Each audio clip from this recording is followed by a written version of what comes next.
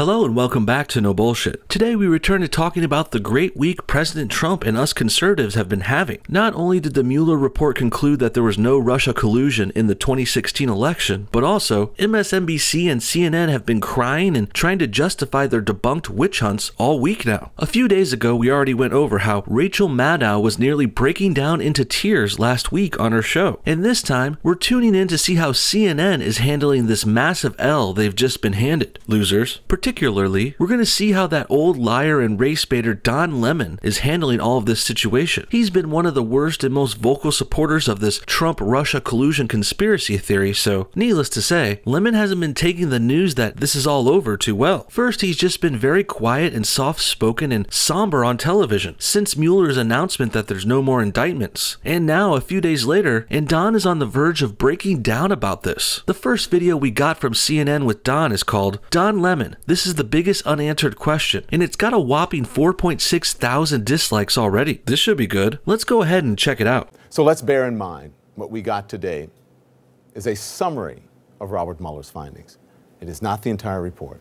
And what we have learned, quite frankly, it raises a lot of new questions as we move forward. One of the biggest questions tonight why did Robert Mueller not come to a conclusion on obstruction himself?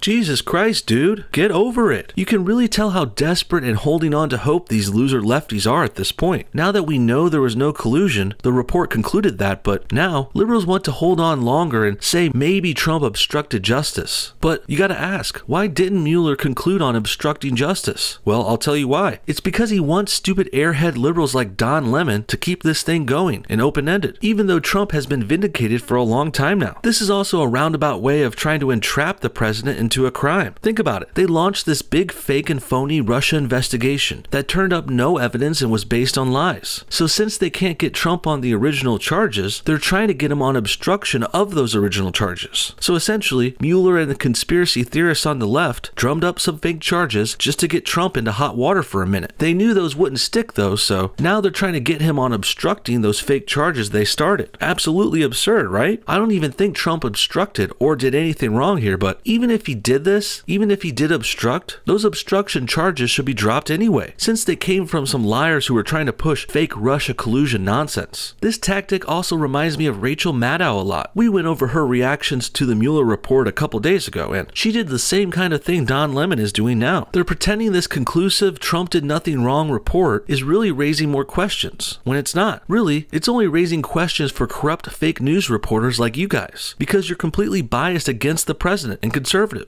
Shit, this is why Mueller didn't conclude on obstruction in the first place. He was biased about this too, and he wanted to leave something open ended so left wing pundits could continue to slander the president about it. Just imagine if you got accused of committing a crime you didn't do, and the team prosecuting you was all of your worst political enemies. And then when they can't find any evidence that, say, you killed someone or robbed a bank, well, then they turn to saying, yeah, he may be innocent of that crime, but he didn't go along with our fake investigation exactly perfectly, according to us, his worst enemies. Sounds pretty ridiculous, right? Well, that's exactly what Don Lemon and the Democrats are doing right now to President Trump. But the fact remains Russians did interfere in our election.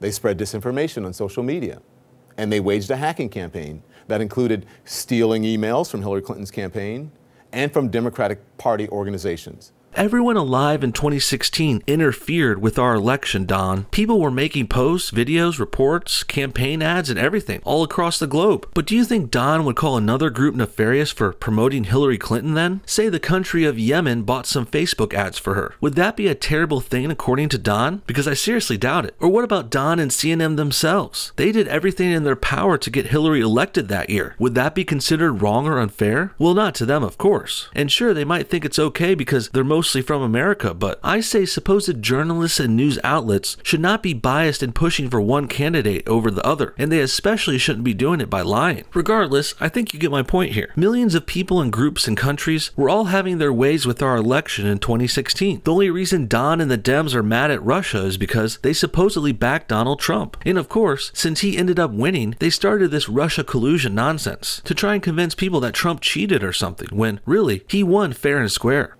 The special counsel determined that. And the attorney general acknowledged that in his letter. So, why has the president repeatedly deferred to Vladimir Putin, who's an enemy, who waged an attack on our democracy.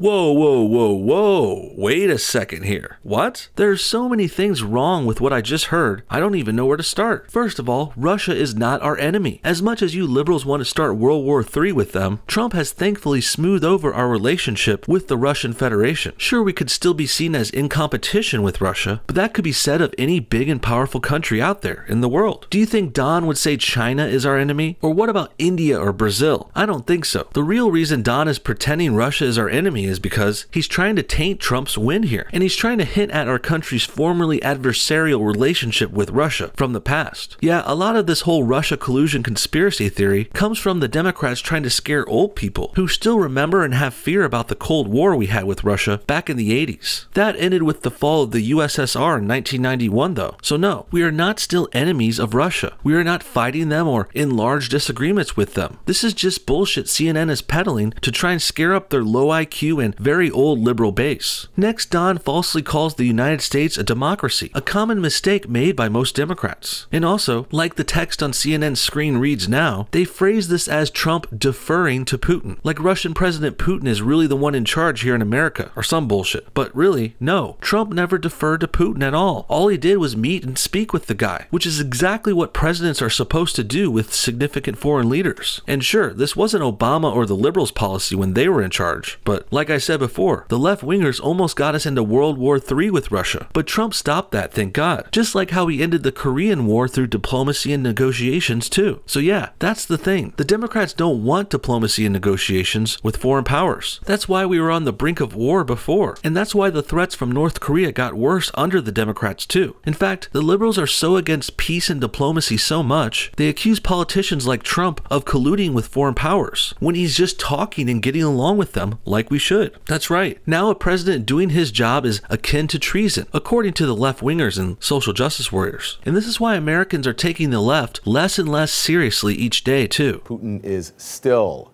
attacking our democracy. Why has the president kept his own aides in the dark about his communications with Putin, even taking away his interpreter's notes? And when will we learn about more details about what the Attorney General in his letter today describes as, quote, multiple offers from Russian affiliated individuals to assist the Trump campaign.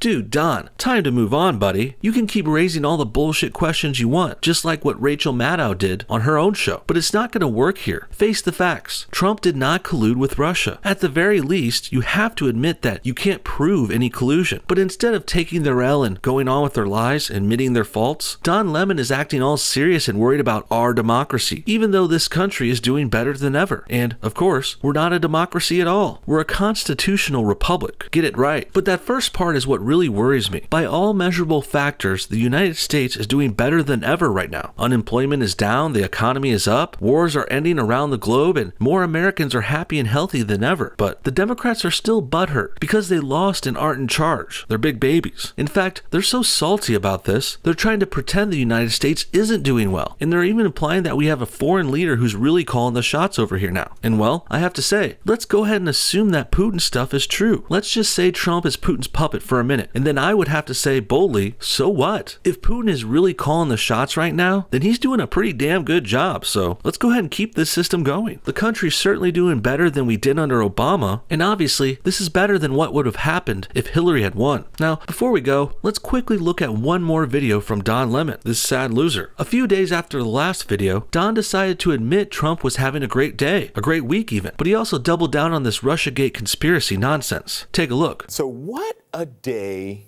this has been for the president. What a day this has been for the president. Sort of like Christmas, his birthday, and election night 2016 all rolled into one. The dark cloud of the Russia investigation lifted.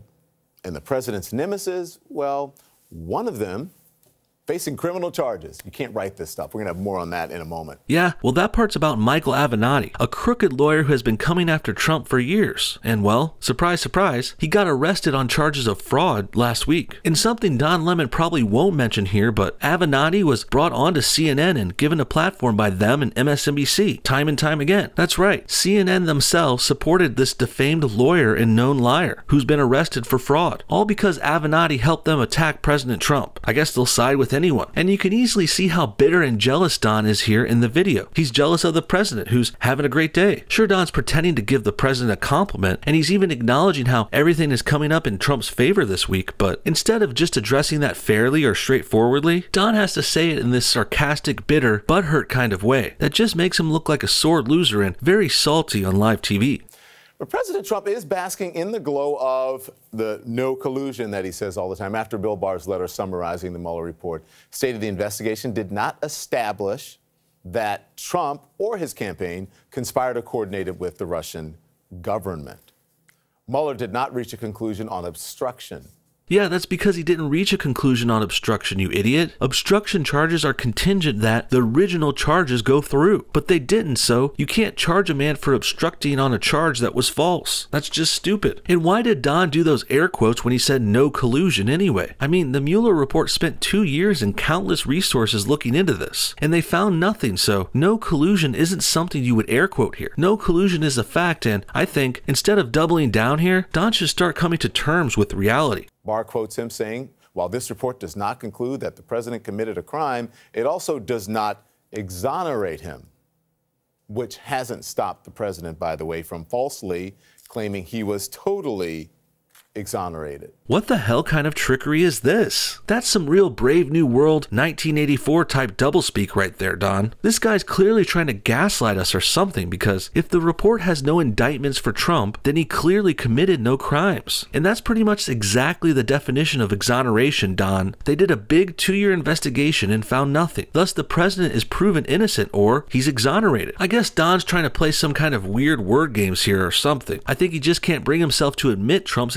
exonerated because that makes it just sound too good for the president. And I'm also guessing Don thinks there's some kind of other crimes Trump could have committed at some other time, you know, some other possibility, like all those random conspiracy theory like questions that he and Rachel Maddow keep bringing up. Trump could have done this, he could have cheated this way, he could have maybe done something else. Absurd. In reality, this could be said of anyone. So I guess no one can be completely exonerated anymore because there's always possible crimes we could have committed in our past. This is the way Don Lemon and Rachel Maddow are thinking right now, and it's absolutely ridiculous. In the end, Trump was proven innocent, and he was innocent all along. And most of us knew this from the beginning. Sure, Don Lemon is still doubling down here, and he won't admit the president is exonerated, but according to Lemon's definition, no one's really completely exonerated then. He's using a weird double-speak, hypothetical version of the term in order to manipulate the real definition, so as to not give Trump full credit here. It's pretty petty, childish, and manipulative, and also just plain wrong. And of course, going by Don's own logic, he himself